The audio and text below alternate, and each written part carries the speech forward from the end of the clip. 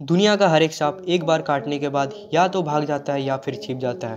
पर क्या आपको पता है कि अफ्रीका में पाए जाने वाला एक सांप का प्रजाति ब्लैक माम्बा, जो एक बार में 12 बार तक काट लेता है और एक डे ट्रेजर नाम का सांप है, जो सेकंड के पंद्रहवें हिस्से में काट लेता है और जहर छोड़ के वापस अपनी पोजीशन में भी आ जाता है। यह हमला किसी पलक झपकाने से भी तेज होती है। सांपों की कुछ प्रजाति ऐसी भी है जो उड़ सकता है। ये किसी स्पाइडरमैन की तरह छलांगे मारती है, जिससे ये 300 से 400 फीट तक उड़ जाती है। और क्या आपको पता है कि सांपों को जब खतरा महसूस होता है, तब वो उल्टी कर सकती है।